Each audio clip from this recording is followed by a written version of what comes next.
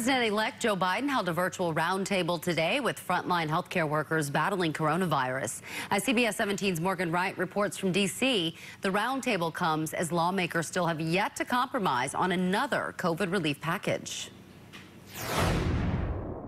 There's a whole lot of things that are just we just don't have available to us which unless it's made available soon, we're going to be behind. As COVID cases surge across the nation, President-elect Joe Biden told some of the nation's frontline health care workers they will be his administration's top priority. It's not enough to praise you. We have to protect you.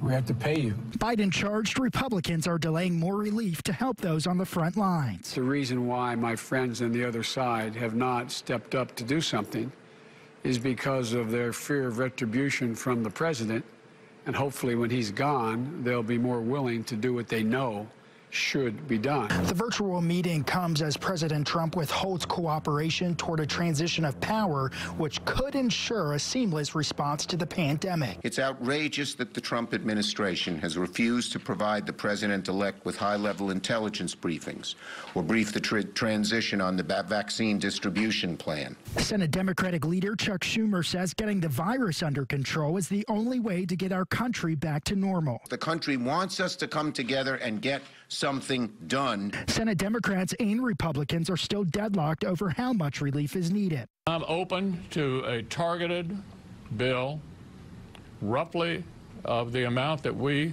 recommended, a half a trillion dollars. But Biden says he's optimistic he can secure more relief. Reporting in Washington, I'm Morgan Wright.